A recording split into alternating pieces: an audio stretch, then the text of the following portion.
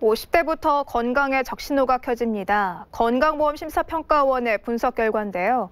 연령에 따라 주의해야 할 질환도 달랐습니다. 박천영 기자입니다.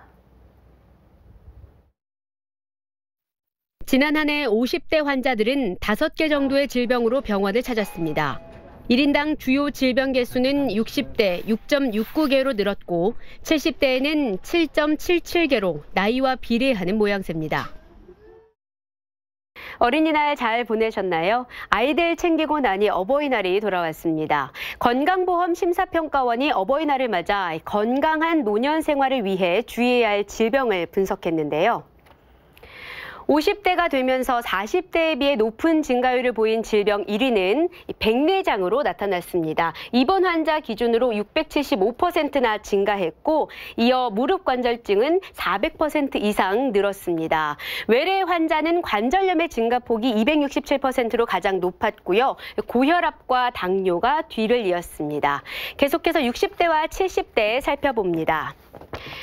60대가 되셨다면 치아 관련 질병 주의하셔야겠는데요. 50대보다 234%나 증가했습니다. 70대는 알츠하이머병, 치매가 2,500% 이상 늘어나 증가율이 가장 높았습니다. 안전신문고는 2014년 도입된 이후 지난해 23만 건의 민원이 접수되는 등 이용자들이 꾸준히 늘고 있습니다.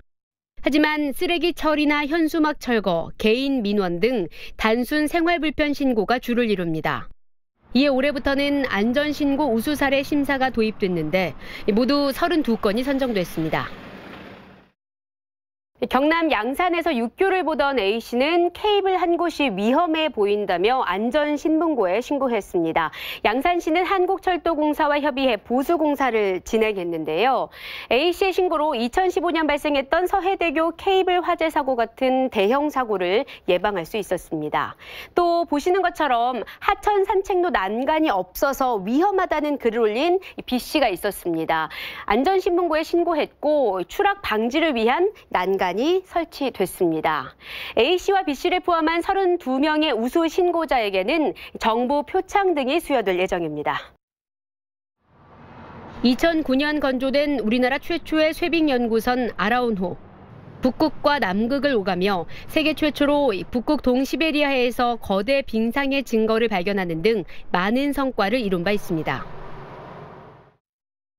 아라운호가 운항 10주년을 맞았습니다. 여러분도 한번 타보시면 어떨까요? 해양수산부가 대국민 승선 체험단을 모집한다고 밝혔습니다.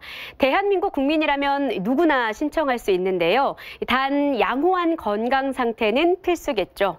3주간 모집이 진행되고 이달 말일 최종 선발된 후 6월 중순 울릉도로 떠난다고 하네요. 지금까지 더 뉴스 전해드렸습니다.